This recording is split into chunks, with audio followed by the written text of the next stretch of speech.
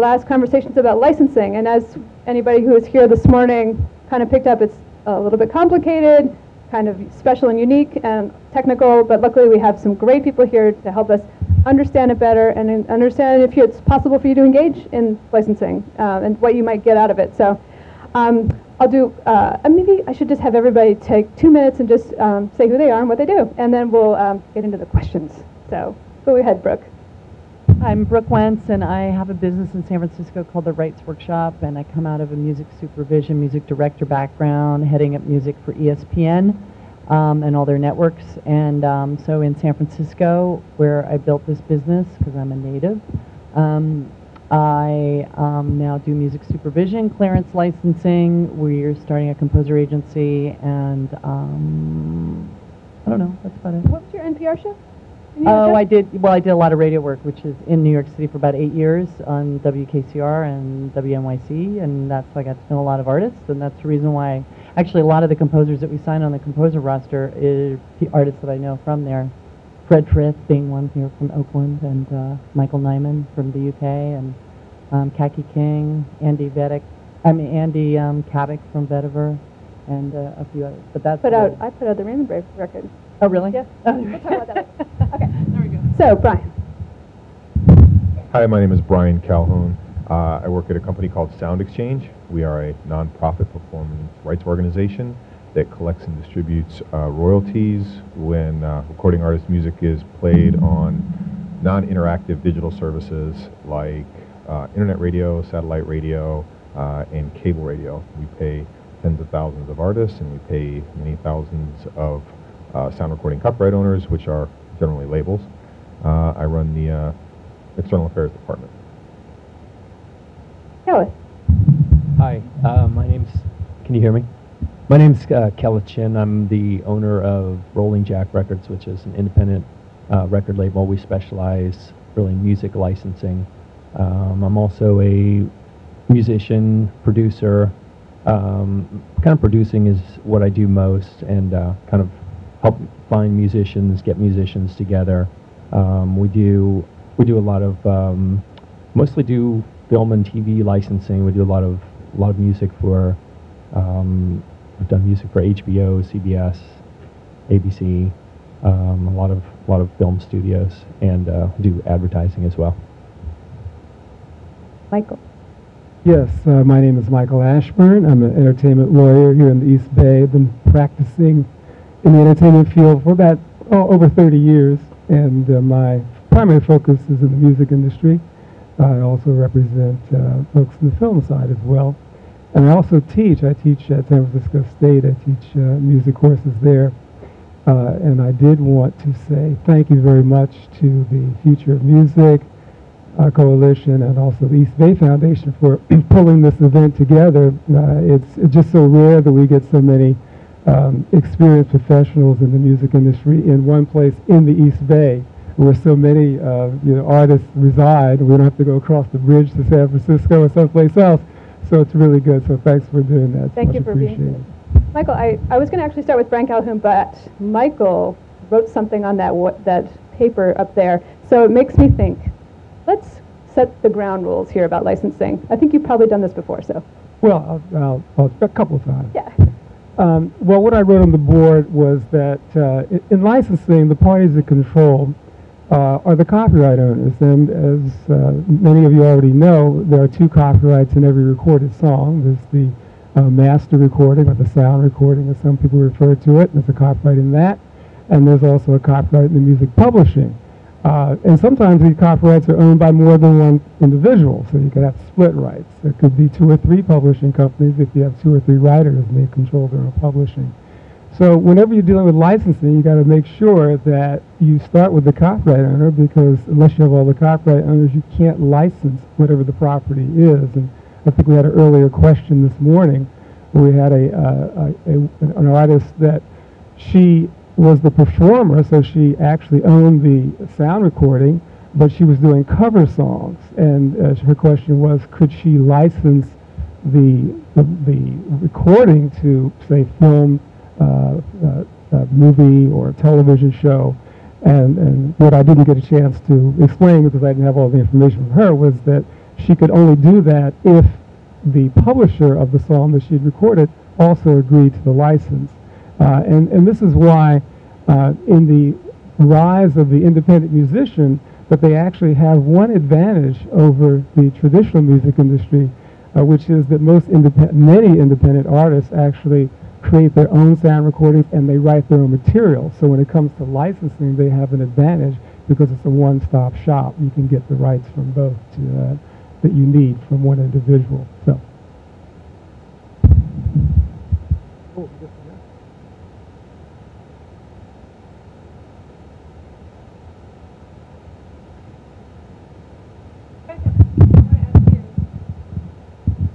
Bryan. Okay, so what, what Michael was just referring to is something, you know, about direct, directly negotiated licenses. Um, but what SoundExchange um, deals with is actually a compulsory license. So, Bryan, can you explain what the difference is and what SoundExchange does? Right. Well, there is a, actually a statutory license in place that allows any service to opt in and play recordings uh, on your internet radio station. So anybody in here, maybe there are some webcasters in here, you actually have the ability to use any uh, anyone's recorded material uh, without having to go and ask, like Michael had uh, uh, mentioned before, without having to ask for specific permission from the individual rights owners. Now, what SoundExchange does is we collect and distribute on behalf of just part of the copyright on the uh, on the master recording. So the owner of the sound recording, the sound recording copyright owner, we frequently refer, we just for short SRCOs, sound recording copyright owners. Now, sound recording copyright owner is generally a record label, but if you are an independent artist and you own your own master, you are a sound recording copyright owner. Um, and we also collect for the performers. The way that the, uh, the license works is that we collect and pay both the owner of the sound recording directly and the performer. So if Michael owns a record label and Brooke sings uh, a recording for him, then when they have earned some royalties for internet radio play or uh, cable radio play or satellite radio play, we pay them each directly. So uh, traditionally, under uh, a lot of licenses, and I think I'm sure you'll be getting into this a little bit more, uh, when there's a specific use negotiated for, say, a film or something, and you're negotiating for the copyright, uh, the, I'm sorry, the sound recording copyright portion of it, the person who owns the master is the one that you deal with, and you would pay them, and then they would in turn look at the terms of the deal with the recording, uh, uh, the recording artist, and then they would in turn pay that recording artist. So you would pay Michael, and Michael would pay Brooke. Now, the way we work is we pay each of them directly. So when the money comes in for a particular recording, we pay each of them directly.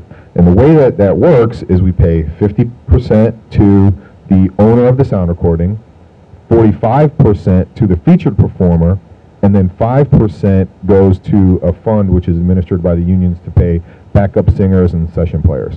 Um, maybe I started getting a little bit too much detail already, but just to, to, to, um, to kind of make it a little bit clear, it's best for me to talk about it by way of example. So if, uh, I'll use another example. Let's say if I write a song and Michael sings it. If that... yeah, you're, you're certainly in trouble if I've written it, that's for sure. If, if, uh, if the recording that we create is then played on terrestrial radio, so AM or FM radio, I would get paid via ASCAP, BMI, or SESAC. Those are other performing rights organizations, but they collect on behalf of the writer and the publisher. Michael, being the singer, does not get paid. His record label does not get paid. However, when that same recording is played on internet radio, like Pandora, uh, played on XM, Sirius, uh, you know, the satellite radio stations, or cable radio, then I would still get paid through ASCAP, BMI, or SESAC, but Michael and his record label would get paid through SoundExchange. We just had our biggest distribution uh, in the history of the company, and uh, uh, it was for just about $52 million, first quarter of this year. Now, because it's a statutory license and anyone can use it, we also collect for every anyone. We, we collect for everyone. We collect for everyone, whether whether or not you have told us to do so or not. We do it. So one of the challenges that we face is educating people, which is part of the reason I'm here today. Is we literally have tens of millions of dollars sitting in the bank for tens of thousands of artists, and we can't pay them. Why? Because they have not filled out a few pages of paperwork and we can't send them their money. Yes? That's absolutely correct. There are not there's there's no there's no conflict there. If you uh, yeah, that's if you're the recording artist. If you perform so if you wrote the song that you sing, you collect as a writer from BMI and you collect as a singer from SoundExchange. So uh, that's kind of the basics. Yeah. I just wanted to mention that there are a couple of handouts in the back. Bryan brought several which explain what he's talking about in more detail, and I brought one as well. So on your way out, you might want to grab one. Yeah, and just I'll just real quickly, I just said there's one up there. Uh, this one says get paid, get played, and it's kind of the basics on SoundExchange. Uh, one of the questions I frequently get is why wouldn't an artist register? Well, I actually created a top 10 list of why artists don't register, and really there's no good reason to not register.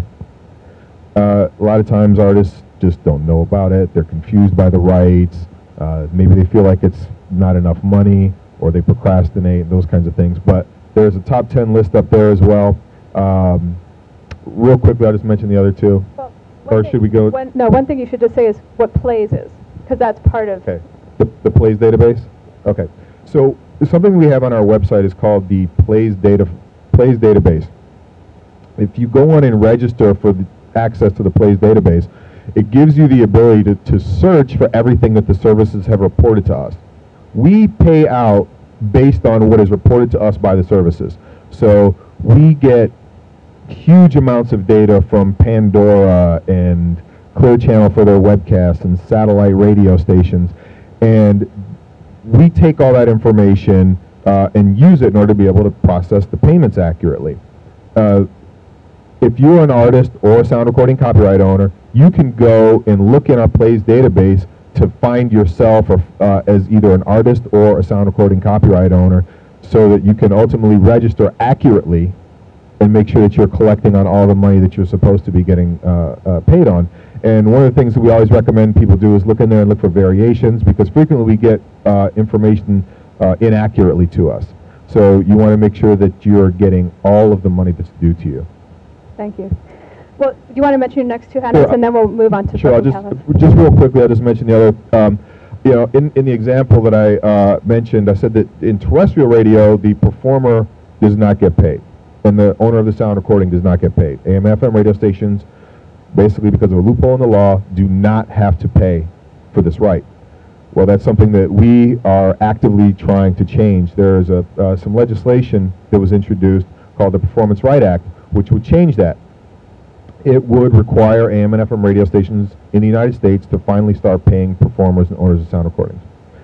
Uh, some of you may have heard some commercials that the National Association of Broadcasters have been running all over the country, calling it a tax on free radio, a performance tax. Uh, the truth is that it is a licensing fee to be paid for creators of intellectual property when somebody uses their work and makes no, and makes money off of it. Uh, you know, fundamentally, it is unfair for companies to take somebody's work, use it, make money, and not either ask for permission or provide any compensation. That's our position. And here's a little basic fact sheet on the Performance Right Act, which is also in the back of the room. And one other quick thing I'll mention is the new artist checklist, which is something we put together. It's kind of uh, uh, a brief list of some of the things that you need to do as a um, as a new artist.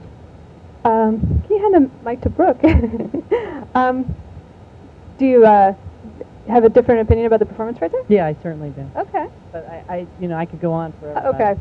Well, I just think that what you said about you think that it should be a tax. Well, I think the reality is that the radio stations want to make it something that um, everyday people understand. And the real reason that radio existed was actually to access music and to broadcast music to people so people would buy records and enjoy music. And also, yes, that's what radio stations did. They went in, you know, and, and actually broadcast music so people would hear it. And when I worked at a radio station, and most of the push for promoting music is to actually get your music heard on the radio and get articles written about it. Now, granted, the radio is, is prol- proliferated in many different ways. So I understand where you guys are coming from, but on the other hand, I feel like maybe you guys should have gone after terrestrial radio before web radio because the web radios are the ones with the less amount of money, and SoundExchange unfortunately went and attacked them first uh, to try and get money instead of going to terrestrial radio. radio. So that's I just have a different opinion. All right. Well, That's I think a lot of the money they collect is also for the bigger artists instead of the young. You, when you guys first came out, you were also paying, you were also charging NPR and other, um, you know, under like college stations and whatnot for uh, giving big taxes on them. And I think, or not taxes, you were asking them to pay. When I think a lot of the artists would actually prefer to see their music on those stations rather than no but the, the original fees that you were charging them was making them go out of business. So if they were going out of business i think more people would want to see their music played rather than the little that they're getting compensated. Because i've put famous names of jazz players on in your website in the thing and they're names that don't come up. So even though you say players you're talking about mariah carey. You're not talking about you know the you're not talking about ron carter you know so it's a little different. So I could, as I said, I could go on. So I think I think what he's doing is a great thing, but I, I wouldn't say you can say that radio is like, you know, radio exists. You have to look at the history of radio before you say that. well, as you can see, there's all sorts of things. I mean, this is, gets complicated, and there's a lot of different things. And in fact, this is just to sort of back it out a bit and of talk about the meta issue is that you realize that the compensation that musicians and songwriters get is actually influenced by policy.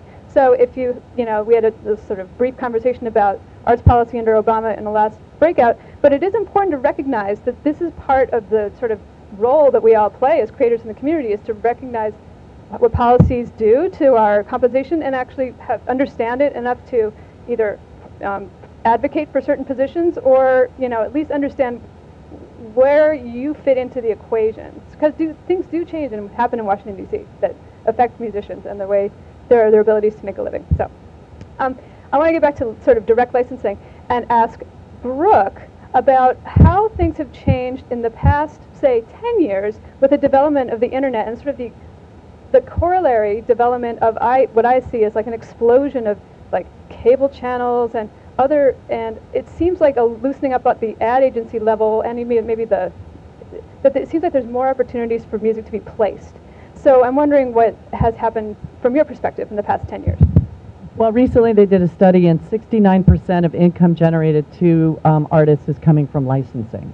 So that's a pretty high level. The um, you know sales of CDs is down, and so they see this as the new form. It's called ancillary income to a record label, and um, uh, it's become a very important one. Uh, digital new media, which is streaming on the web, uh, download, uh, films or, or programs that are aired on, on um, you know, VOD, which is video on demand, or streaming. Um, now these rights have to be uh, included in the licensing. It's not just film festival exhibition or theatrical or television. There's about five tiers of television, and there's all these different um, digital rights that need to be acquired. Uh, the thing is, is that distributors are asking for these rights from filmmakers, and then, then the copyright holders are also charging a lot for these rights. And so there's been, in the last 10 years, honestly, 10 years ago, I remember one art filmmaker had this documentary about a, about a uh, museum in, in, um, in Massachusetts, and she had one song in there, and I think it was Universal Music Publishing wanted, and the band didn't even exist, I can't remember who it was, but the, they wanted $5,000 for the sync, which is for the publisher, and $5,000 for the master. And that was just for, for, for digital rights. I mean, now you can go in there and you could probably secure that for $1,000 or $2,000. But it, it's just like buying a flat screen TV. It was tremendously expensive for filmmakers, and now it's kind of come down to the reality because of the um, proliferation of medias. Um, the licensors can't even keep up with the requests, and they also need to charge something so they can turn them around. But of course, they can't go that fast. Um, and so, I mean, there is there is money there for if, if your music is being used on the web, and you do. I mean, we get artists who come in and say, "Oh, you know, they wanted to use it for this media, but now they want it for that one." And you have to realize if they want it for another media that was not originally negotiated, then you charge more. but most people are savvy enough these days to ask for all media rights, and the fees are entirely based on the media. So uh, out in the hallway, uh, Kelleth mentioned that he's done a lot of licensing in the past 10 years, and you said that right now you're using um, an agency to help you sort of manage everything. Um, and I want you to talk about that, but I also kind of want to get to the, the sort of the next obvious question is there are a couple of services that are trying to facilitate, you know, B2B licensing like Rumblefish and Pump Audio. There's pros and cons to that, and I wanted to get to that next. But please tell us a bit about what your, your experiences have been. Um, uh, as far as as licensing, um, it's really something that um, a lot of people, a lot of musicians are have have become a lot more interested in in the last few years, especially with the decline of of CD sales, um, because the uh, the record sales uh, it's it's going it's going very badly compared to how it was five ten years ago, um, but um, there are areas of you know when people say oh the music business is doing doing terrible. Well, I mean, the, the, the flip side of that is that um, live music, for example, um, is, is doing it pretty much as well as ever. And another area that's doing really well is licensing because um, there's, there's more media than ever. And uh, whereas about five years ago when I would talk, talk to people and I'd say, oh, I do a lot of licensing, people would, would say, what is that? And now, uh, more often I find when I talk to people, I say, oh, through licensing, people, people's eyes get really big and they're really interested in it. They want to know more about it. How do I, yeah, like youth, film and TV licensing, how do I get into that? And um, there isn't, I, I wouldn't say that there's any, any one answer to that. There are a lot of, there are a lot of different, different uh, routes to, to get into it. Um, me personally, I started out, uh, I, I started out just as a musician. I had a band uh, called Big Soul started out in LA and San Francisco. And um, we were just selling our, our CDs. Uh, CDs back then, you know, were, were kind of a new thing, so we made our own CD and and um, we, we uh, started selling it at shows for ten dollars each. And um, we had a uh, there was a French tourist that bought one at the Whisky a Go Go and brought it back to to France. And somehow it got into the hands of uh, well, it was a DJ, Parisian DJ that started playing it at his club, and then Sony Music, and two guys from Sony Music heard it, and um, they signed us that way. So through that, through that record contract, you know, we had a we had a hit record in in France and in Europe, and um, that's how I kind of got into licensing because Sony, the, we had a really good guy working at Sony Music Publishing who got us a lot of great deals, and it just turned out our music was really appropriate for that, and um, so once the you know after after about 10 years you know bands kind of dissipated we stopped doing stuff. I kept on getting calls for saying you know i'd like to like to license this like to like to your music you know and they were calling me directly. And i started thinking hmm, maybe i can maybe i could do this myself actually. And i also kind of the other thing about licensing is that you know it's it's it's not necessarily the kind of thing that where you've got to have a where you've got to have a whole band and you got to be playing shows and doing all that I can help a lot with licensing, but but I found you know especially because I, I started a family, I don't really like uh, going and you know going out to to going on tour that much you know especially because I've got a family now. I'm more of a homebody. I like to get, like to go to sleep early, get up early. And I really like recording. I like producing. And I really found, you know, okay, this is the thing I like to do. So um, I started. I just decided to start my own company, and one thing a lot of people they, they ask me okay well what so so tell me so how can i do it? How can i get into licensing? And one of the first things I'd, i asked them about okay well what kind of music are you doing? Because a lot of people who want to get into music want music licensing kind of assume well okay well I've, I've got my music so all I you know what i need to do is just like work on it and work on the angles you know but really it starts with the music because if you don't have, you can be a great networker and you can be really great at your connections and you can, you can, you can work that angle of it. But if you don't have the right music, nobody, nobody wants to license your music.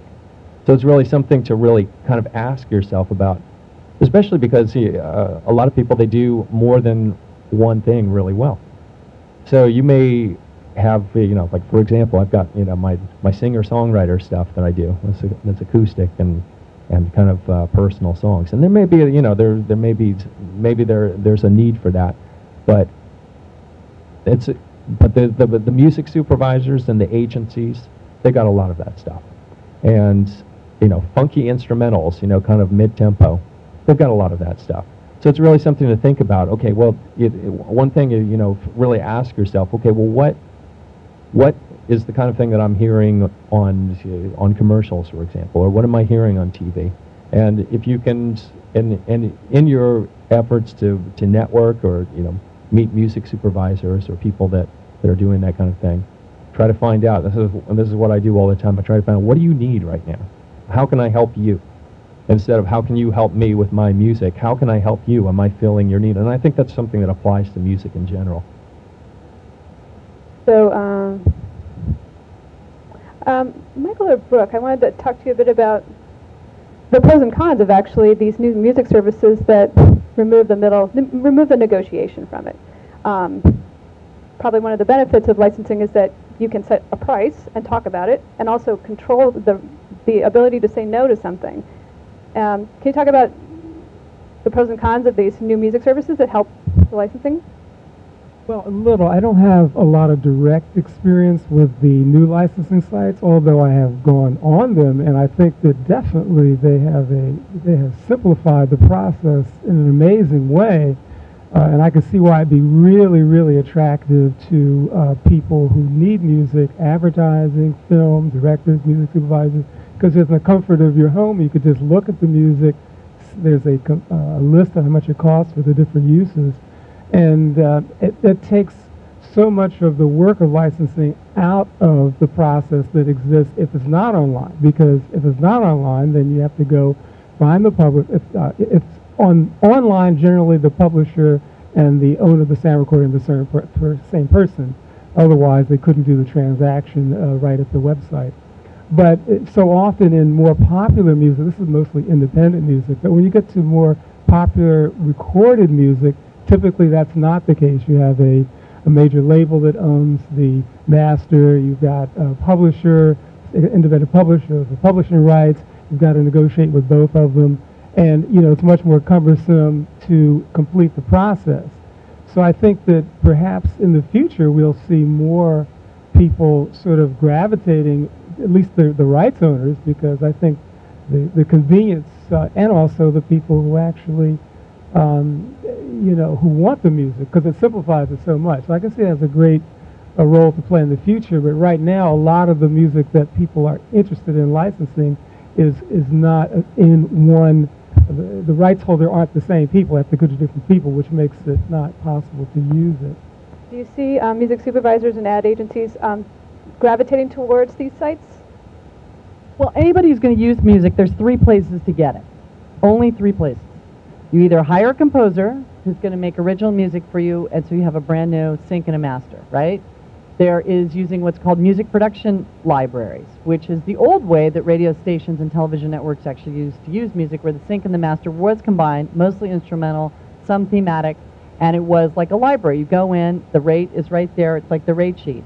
What's happened though is those those libraries have become more savvy and are not just doing instrumental music. They're bringing in vocalists, and they're also capitalizing on the um, artists who want to retire and stay at home, and so they're getting name artists, name guitar players, name drummers, name saxophonists to come in and create music for them, which they then license out.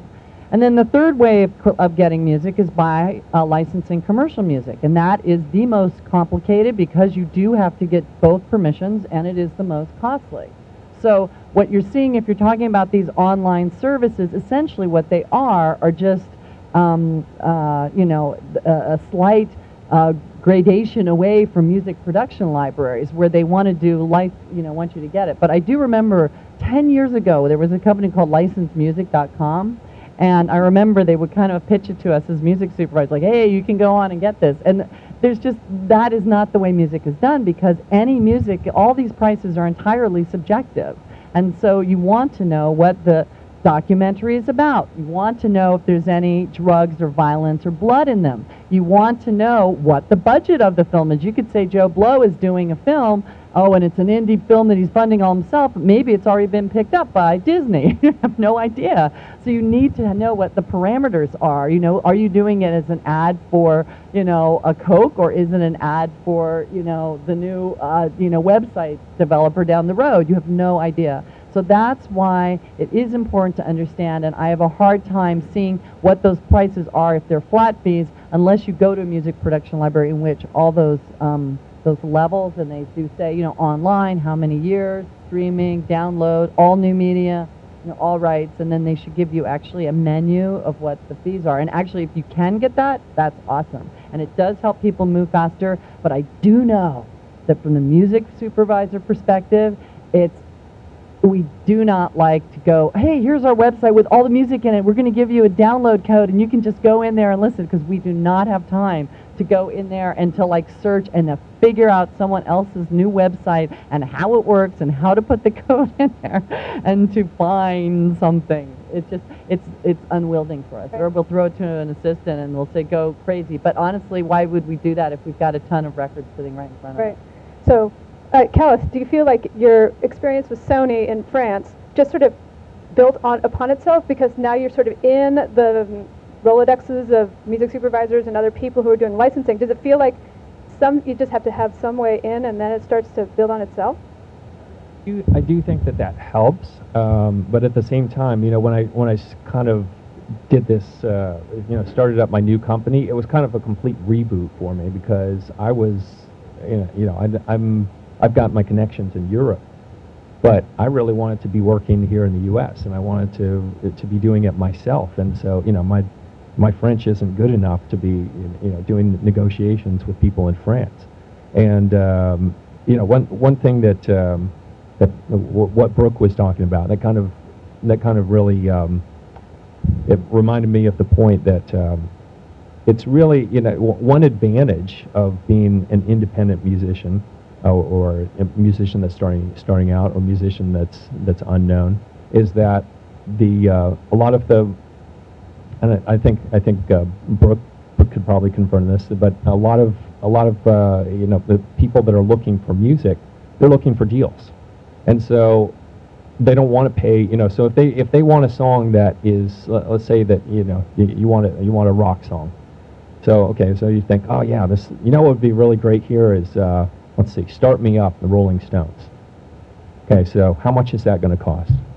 It's going to be a lot, but $12 million. $12 million, okay? But let's, so let's say, okay, so they, so you can't, so, do- so we can't afford, we don't have twelve million dollars. Okay, we can't, we can't afford Start Me Up by the Rolling Stones. But what if we had a song that was, that was kind of similar, kind of, the- kind of the same? And s- the music supervisors or the agencies, they'll tell you that, that, you know, this is, this is a very, very common request. I need a song that's just like this, but is not that. So it's just like the Rolling Stones, except we want to pay five thousand or ten thousand instead of twelve million. So I mean that's that is the, that's a big advantage for musicians that are for independent musicians or musicians that are unknown. So that can give you like a little bit of motivation to say, oh well, maybe I could get into that because that is kind of a that's that's that's one advantage. You know, I mean if you you know I'm sure you'd rather have the the disadvantage of being really famous and having a a catalog of, of songs that are making millions of dollars all the time. But that's a that's a that's one advantage and, a way to kind of get into it. Um, I, I should point out something else that came up this morning, which any of you could answer, is the difference between the rate of the deal, like the, the licensing deal, and then any performance royalties that are generated when it's used. So can anybody tell you about, about different ways that things get used and then they, the way that additional revenue comes back? I do know that um, if you're a smart composer and you um, have an in with a network, that you would honestly probably not charge them a composer fee because your um, PRO money or performing rights um, money, and I don't even know, does SoundExchange um, collect on streaming of for cue sheets of television and film and stuff like that? Like if NBC broadcasts a rerun of an episode on the web, that's webcasting of the performance. So the question would be, let's think, so it doesn't include, okay. Um, but they might stream the music on the side to try and sell it. I don't know. um, anyway, that, that they would say no because the um, PRO money from the network television is so high. But the, the thing is, is if it is going to be something that you're doing on a very visible TV show, even an HBO show, you might bring your fee down a bit because the performing rights money would, would, would add up, right, Michael?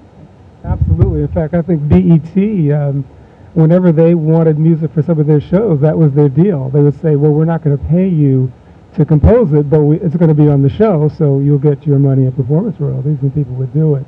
Um, the other thing I was going to say, uh, I was listening to Kelleth, uh, and there's a couple things going on in his conversation about uh, someone wanting a song that sounds like a song that's more expensive to license. There's a couple of ways that people get interested in licensing music. One is they hear the song somewhere, and it's, it's because it's popular, successful, and then they try to find out who the copyright owners are, and they want to license it. So that's one way. And, and the other way is that they have a relationship with a music, musician or someone that's creative, and they feel they can talk to them and get them to create music for them that, they will license uh, from them. So it's sort of a, a little different because one's driven by the popularity of the song. Some of my clients, uh, hip hop artists and so forth, uh, video games, they come to them because they want that sort of sound in their some of their video games, and so they're familiar with their their work. So they're not asking them to come and create something like that. They want that particular song, and we do a licensing deal for that video game. But you, to get the other kind of interest, you have to network, and you have to end up meeting people, music supervisors, and so it requires more of a personal relationship, which is great too. Either way can work. This, this depends upon your situation. I was looking for our, oh, here it is. the moderator microphone. I, I mean, uh, the question, you have a question. There you go. Uh, wait, turn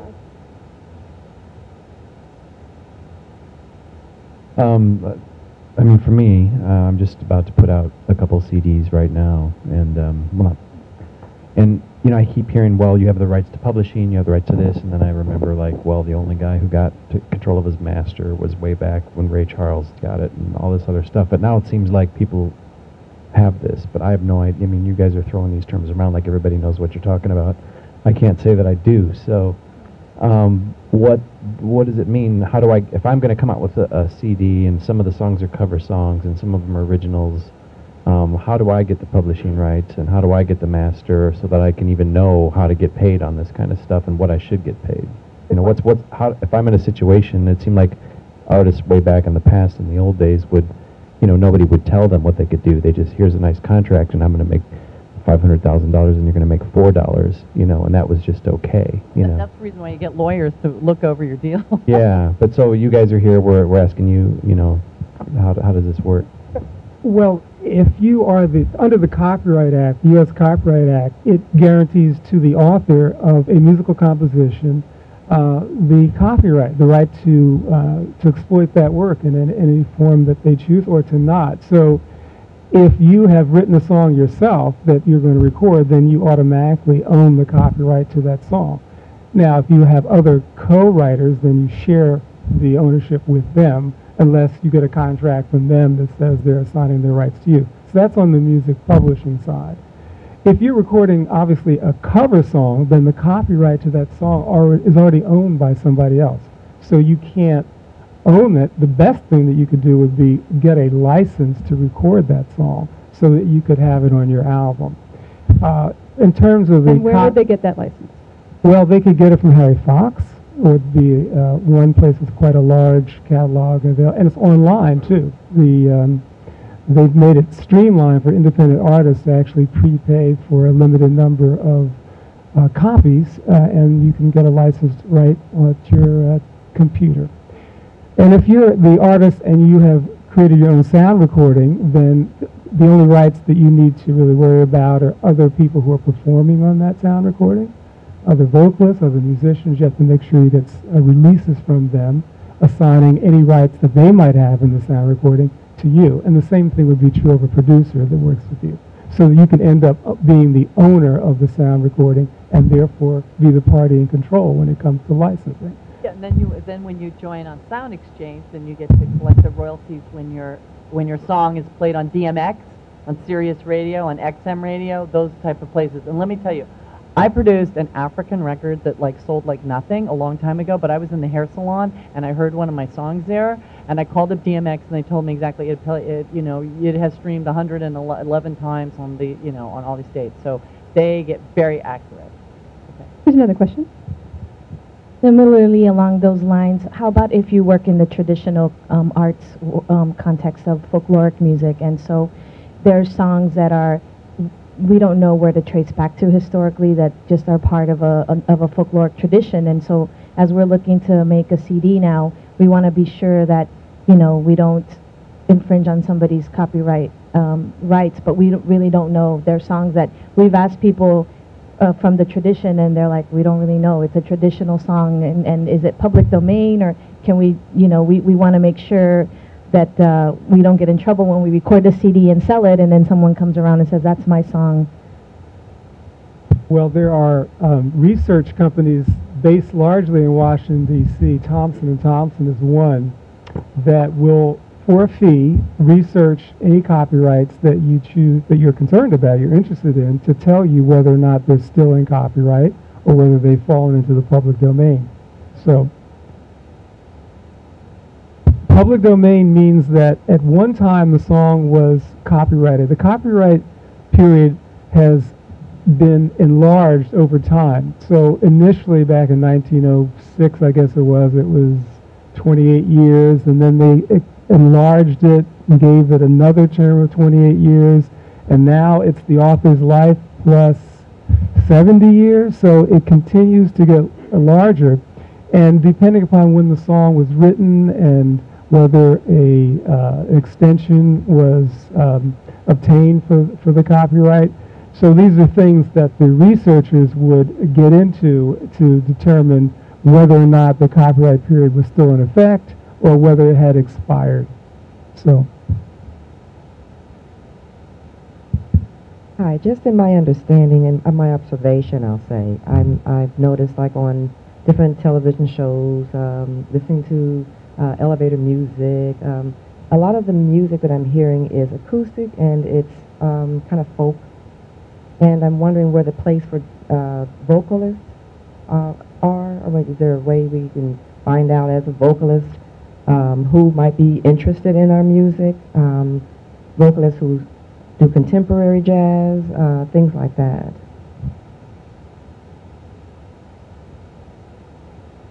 Well, if you're hearing um, instrumental music, you probably remember Muzak. Well, they, they still exist, but they now play commercial music. So when you go to Safeway, that's what's being pumped through is Muzak. Um, you could give, I mean, DMX, I mean, I don't know, I'm a DirecTV or Comcast user. You know, they got that area there where they list all the, the radio stations. And if they've got some smooth jazz stations, you could probably submit it there. Or DMX, I don't know. What do you guys think? There's also um, just a question about how your music gets into Muzak because um, we've had them on panels and it's really quite interesting. They do a lot of very specific programming for, you know, uh, and you all collect from them, right? For music. So how, Bryan? Do you know how it got, gets there? I think you. in. I don't know how it gets in. Does anybody know? Do you just submit it to Muzak? I'm sure they're. Come on, you have to go on the Muzak website. Go call them. You're you're human. You can pick up the phone and say, "Hey, I'm a musician. How do I get my stuff in?"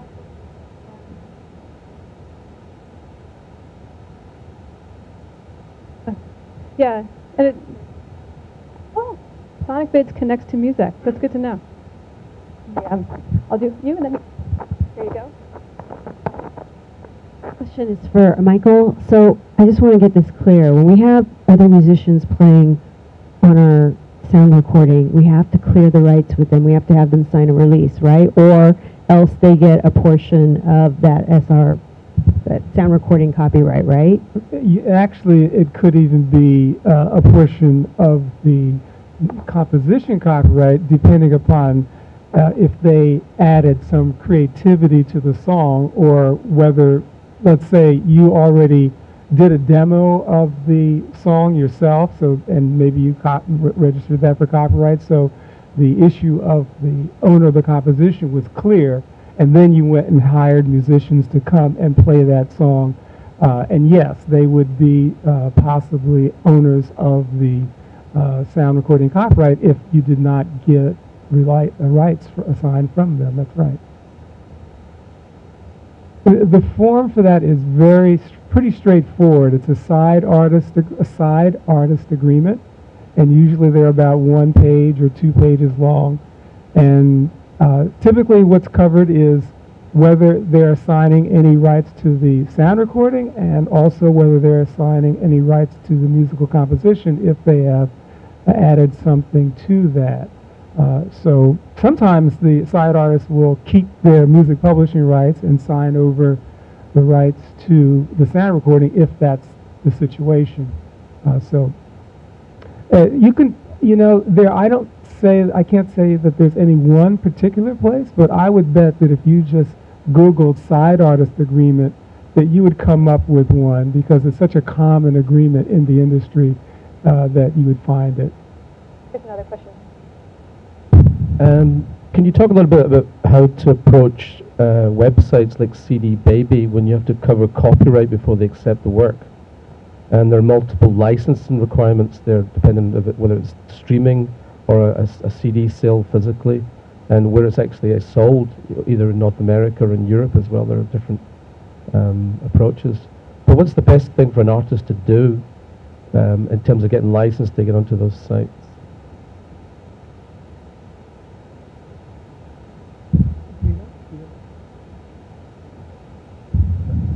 Yeah, I'm not. I'm not sure I understand your question. I mean, if you are the artist, uh, then you would be able to go on to CD Baby and just simply register like anyone else, and they're going to assume, and probably is a box that you check to say that you are the copyright owner of the sound recording, and um, so I'm not sure what your question exactly is. Okay, you're not the copyright owner. You're actually, you know, using somebody else's cover material.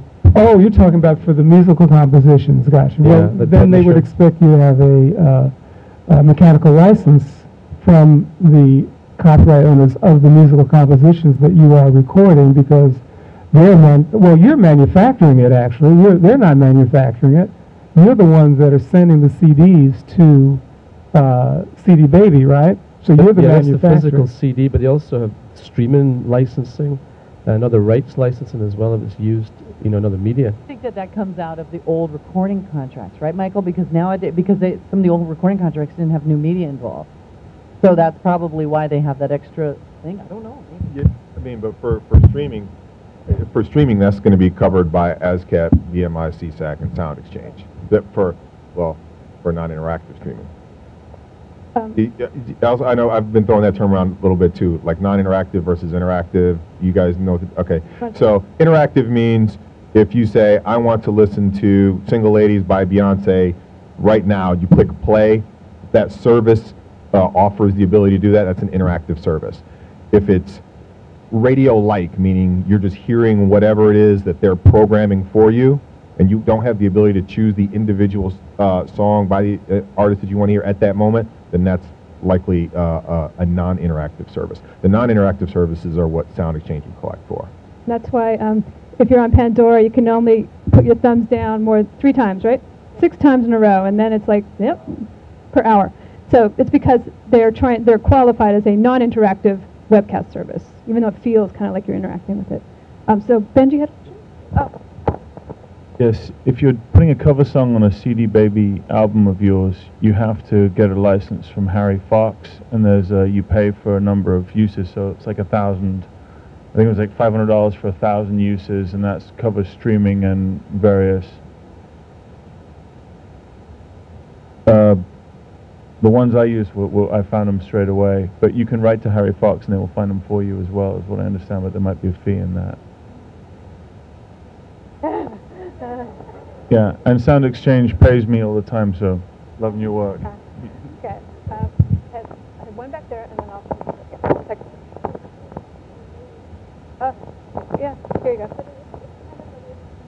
conundrum that, that you're talking about because we had a CD which had um, original music, which was fine. We had cover music. We got the Harry Fox. That was fine. But it was the public domain stuff which was difficult when we were relating to CD Baby. Not so much about just CD sales, but for the digital part of the service. And we never were able to figure it out. We just stopped. But is there something different you do for public domain uh, music in the process of doing the digital agreements, licensing? I I wouldn't think so, yeah, because if it's public domain, you're talking about the musical composition is in public domain, so you don't have to consider their rights at all because they've basically expired. So you can use their composition, and uh, I'm assuming you created the sound recording, so you are the owner of the sound recording. So those you can license it in a way you, you choose. So that should make it easier, not more difficult. So I don't quite understand why that would be the case. I just wanted to address the young lady who was asking about side artist agreement. I don't know if you're a member of the Musicians Union, but that's where you could ask, they would have side artist agreement for you there, and local number six is in San Francisco. All right, yeah, let's have, we have time for one more question if anyone has one. No? I do. You do, okay, go ahead. Actually, I don't have a question. I, I, I didn't want to take over about the Performance Right Act, but I, I, I had to address a couple of the things she said. I, I just made a couple quick notes. Um, so first of all, this is not a new fight. This is something that we've been fighting for 80 years. Frank Sinatra was very active in the 60s and 70s trying to get this passed. Um, uh, also, we don't just pay Madonna, and we don't just pay the big artists. The average payment last year to artists was about $5,000. We pay thousands of artists on a quarterly basis. Uh, if you are reported and the services are playing you and you've reached your threshold of $10, we will pay you. Um, also, let me see what else. Uh, the United States is the only uh, first world nation that does not recognize this right and pay artists. Therefore, roughly $100 million is lost by American artists because uh, French radio stations won't pay American artists when their music is played there. Um, and I, I, also wanted to say that, you know, you know, looking back in the history, there are actually radio commercials, and I have some, where the broadcasters would say, tune in uh, to the radio, you no longer have to ever buy any music ever again. You can listen to it for free. So that was uh, a big part of their promotional campaign in the uh, 20s. And, and also, I just have to bring up one really important thing is the, uh, uh, the substitution effect that occurs. You know, because you have the ability to listen to the, uh, the radio for free, you don't necessarily have to make a purchase. So there are people who listen to the radio constantly with no intention of ever making a purchase. So there's, there's definitely that case. And, you know, it, I also mentioned one more thing is that the, um, you know, I talked about uh, uh, the fact that there's no compensation and no permission, right? So it's sort of like asking, this is an analogy I use from time to time, it would be like telling uh, Tom Clancy, uh, Universal Pictures telling Tom Clancy, we're going to make a film about your book, based on your book, and we're not going to pay you because you're going to sell more books. So I'll just leave with that. Want to ask a question? Okay. Thank you for that. Cathy Hughes, who's a syndicated radio person, I don't know if you're familiar with Cathy Hughes. Yes. You are. Right. Well, she was just recently uh, shown on MSN really advocating against this as a terrestrial owner, saying that it's, it's going to hurt her and as well as small other small terrestrials and she's really really upset she's and really saying this and i've heard this a couple of times and as artists we stand on an in interesting fence where they say they're doing the artist a favor by playing our music how do you address that? I mean and she is very adamant about the, that about not paying about not paying. Just so that uh, he doesn't have to defend himself entirely, uh, the the fact of the matter is is that radio stations historically have made a tremendous amount of money selling advertising time to advertisers based on the power of music to draw in the listeners.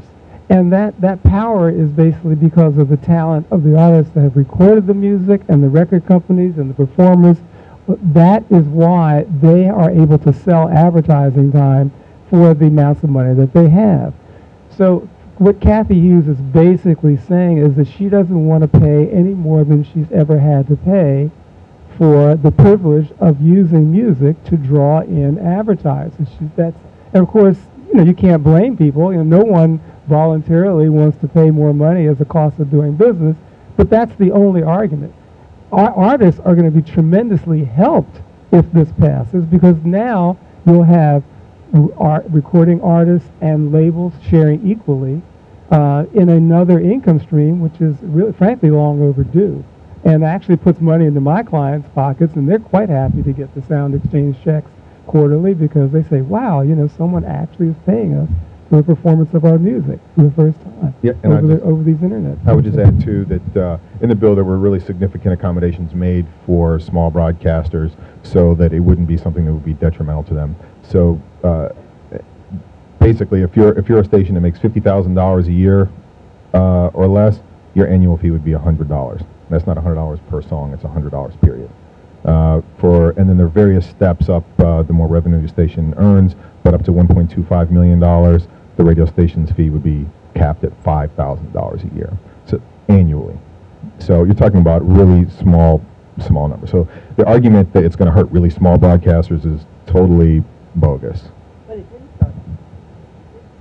No, no, it was it was it was five. e- Even then, it was five thousand dollars. Let, let me let me And- and- address, and the- the- let me address the, the issue of how much the fees were the internet webcasters had to pay um, for the privilege of broadcasting music to SoundExchange. First of all, SoundExchange did not set the rates. The, the, the Copyright Act simply said, listen, going forward in the digital realm, we are going to require uh, that the digital users and broadcasters of uh, music pay for the privilege of broadcasting that music. That's basically all it said. And it said that the rates are going to be set by, I believe, the Copyright Royalty Tribunal. And there was a tremendous um, sort of uh, lengthy and sort of contentious uh, rate setting uh, process where both par- all parties came and expressed themselves before the tribunal and basically uh, they made a decision about what the rates were going to be.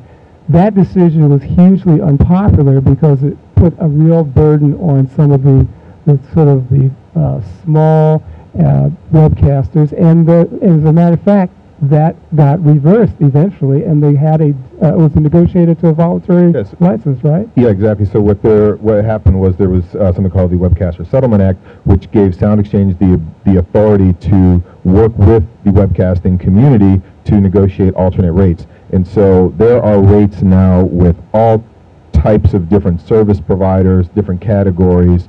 Uh, you know, you talk about very small webcasters; their fees are five hundred dollars a year. So I mean, they can be they can be very small. Uh, there's a rate that you know certainly Pandora, who is a, I know an Oakland company and um, a, a hugely successful and popular uh, uh, webcaster. I mean, they have rates that they're comfortable with and they're happy with. In fact, at uh, the uh, conference tomorrow, Tim Westergren and I are going to be on a panel. But there are now rates that are in place that have been voluntarily negotiated between SoundExchange and members of the webcasting community. So there are a whole bunch of different rates, and um, uh, you know, sometimes I know had mentioned that it can be confusing, and it certainly can. So it's also it's a good idea to get to get an attorney who is familiar with uh, the process associated with opting in for the different types of uh, classes and rates and reporting requirements. Uh, in fact, on that note, we are having a webinar for service providers on June 30th, and you can register. Uh, we- the information is up on our website, soundexchange.com. So we're just going to close up with um, Davey D. have uh, making a comment, and then it's time for drink tickets. So hold on, here we go. Um, three things. One, um, I'm glad you clarified a little bit of the, the Settlement Act, but I, I get annoyed sometimes when we talk about the uh, eight, uh, 848 because they always toss up the quote-unquote agreement that came about with webcasters when in fact it was more of a loss. You know, the webcasters lost and it was a huge, huge fight, um, which, you know, it's kind of like, okay, we, we lost and this is what we have to do. It wasn't like this real jovial kumbaya type of scenario um, that sometimes gets painted. The second thing is, you know, I'm going to tell you from Pacifica, I don't know how this whole thing works out, but for us, we got this whole crazy scenario with anticipation of this in, in, in web rights where we can't play, you know, our specialty shows no more. We had to sign this deal um, with, I guess, CBC, or otherwise we're going to pay these extra fees. Lawyers sat down, and the end result is all our specialty shows. If we want to do a George Clinton hour, we can't do it. A Grateful Dead hour, we can't do it. And it all points back to these various bodies. I'm not going to say it's SoundExchange, but it's it's in that realm. But the bottom line, this is what happened with us as a station, and people ain't happy about that. They're also not in the room to express that. And the third thing is payola. I don't understand how this payment works. Are we saying that payola has just disappeared and no label is doing business and getting, you know, compensated, free concerts or paying money um, in lieu of what they would have to now pay the artists? If, if for, in other words, if, if somebody walked up there and paid X amount of money, say 150,000 to some big radio conglomerate, they're getting 150,000 back, or that radio station's paying that back. And I'll use Cathy Hughes for an example. She was charging artists like $1,000 to listen to the records, not even just play them. So how does this whole thing work? Is the artist getting $1,000 back all of a sudden, or, or is it a discount on whatever money you had to pay these radio stations to be listened to? How does this work? Because I don't think payola has disappeared. None of the people that I know are saying any, you know, they're like, I'm not paying, is what I'm hearing commercial people say. So if they're not paying, what's the side deal that's being caught up? And will independent artists be the casualty of that?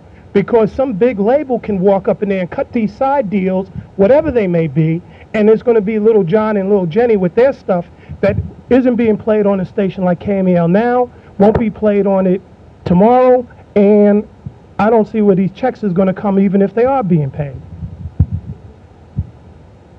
Any comments? Well, ju- there, there- there's one. That is Okay. one comment is that in in cyberspace, it's not illegal to pay for play.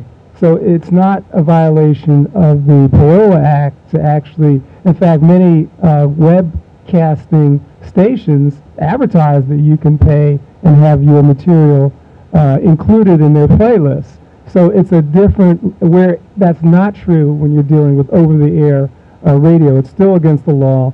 Uh, it's only against the law to do it if you don't tell the public that you've been paid to play it. You can do it over the air as well if you say this is a, you know, this is being paid by the record label.